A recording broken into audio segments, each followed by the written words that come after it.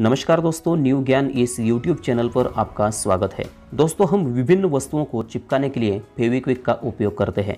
फेविक्विक बहुत तेज़ी से वस्तुओं को चिपकता है, लेकिन फेविक्विक जिस ट्यूब में होता है, उस ट्यूब को नहीं चिपकता।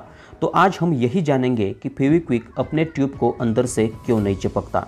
अगर आप इस चैनल पर नए हो तो चैनल को सब्सक्राइब करके घंटी दबाएँ और ऑल पर क्लिक करें, ताकि आने वाले नए वीडियो की नोटिफिकेशन आपको तुरंत मिले। आइए पहले जान लेते हैं कि फेविक्विक किस चीज़ से बना है। फेविक्विक को साइनो एक्रिलेट से बनाया जाता है।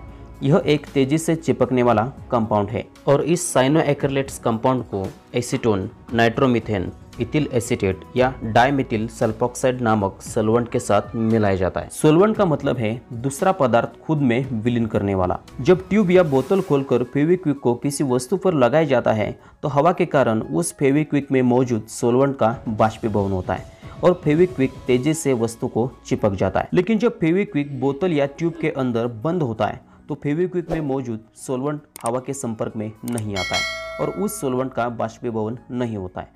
इसी कारण फेविक्विक अपने ट्यूब को अंदर से नहीं चिपकता। तो ऐसे ही नॉलेजेबल वीडियोस रोज़ाना देखने के लिए इस चैनल को ज़रूर सब्सक्राइब करें।